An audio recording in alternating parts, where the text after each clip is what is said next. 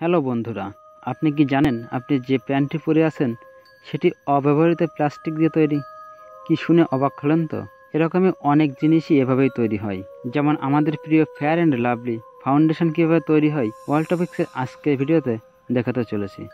ভিডিওটি শুরু করার আগে আপনি যদি আমার চ্যানেলে নতুন হয়ে থাকেন, অবশ্যই সাবস্ক্রাইব করুন এবং নতুন নতুন ভিডিও পেতে বেল আইকনে ক্লিক করে রাখুন। শ্যাম্পু মেকিং, ছেলে থেকে মেয়ে, শিশু থেকে বৃদ্ধ। নিজের মাথার চুল পরিষ্কারের জন্য সবাই শ্যাম্পু ব্যবহার করে থাকে। কিন্তু এ কথাটি আপনি হয়তো জানেন না যে শ্যাম্পু আপনি চুলে ইউজ করছেন, সেটা আপনার চুলকে ক্ষতি করছে না উপকার করছে। তাই আপনাকে অবশ্যই জানতে হবে শ্যাম্পুর গুণগত মান সম্পর্কে, যেটা আসলেই ব্যবহার উপযোগী কিনা। বন্ধুরা ফ্যাক্টরিতে কীভাবে শ্যাম্পু বানানো হয় এটা জানা সবারই জরুরি। শ্যাম্পু বানানোর জন্য প্রথমে একটি বড় মিক্সারে পানি ঢেলে অ্যালকোহল যোগ করা হয়। এরপর অ্যাসিড মেশানো হয়। শ্যাম্পুতে রং আনার জন্য পিগমেন্ট যোগ করা হয়। তারপর জুড়িয়া মিক্সড করা হয়।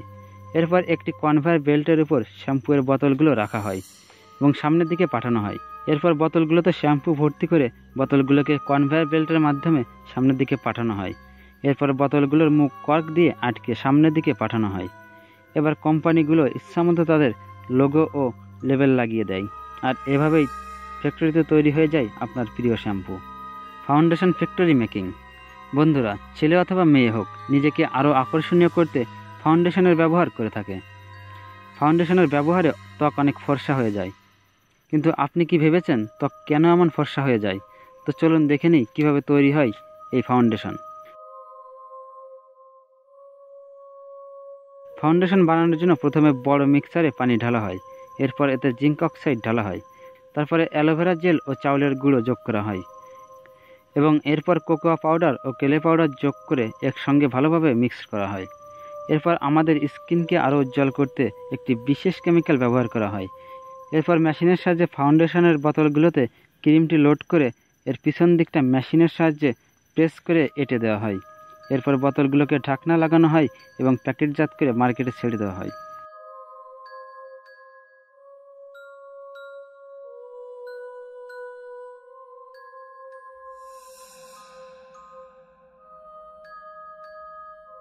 ফেয়ার অ্যান্ড লাভলি বন্ধুরা, আপনি কি জানেন ফ্যাক্টরিতে কীভাবে ফেয়ার অ্যান্ড লাভলি তৈরি করা হয়? ফেয়ার অ্যান্ড লাভলি ইউজ করার আগে আপনার অবশ্যই জানা উচিত এটা কীভাবে তৈরি করে।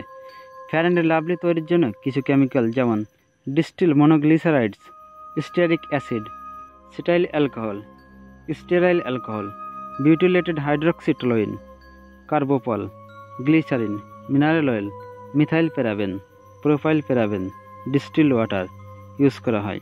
ফেয়ার অ্যান্ড লাভলি বানানোর জন্য বড় একটি মিক্সারে দুধ ঢালা হয় এবং এতে মিনারেল ওয়াটার যোগ করা হয়। এরপর বাকি সব কেমিক্যালগুলো যোগ করে ভালোভাবে মিক্সার করা হয়।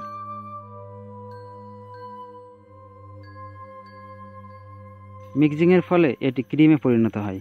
একটা বিশেষ মেশিনের সাহায্যে ক্রিমকে বোতলের মধ্যে দ্রুত ভর্তি করা হয় এবং এরপর কনভেয়ার বেল্টের মাধ্যমে সামনে পাঠানো হয়। এরপর খোলা মুখগুলো এটি আবারও বেল্টের মাধ্যমে সামনে পাঠানো হয়।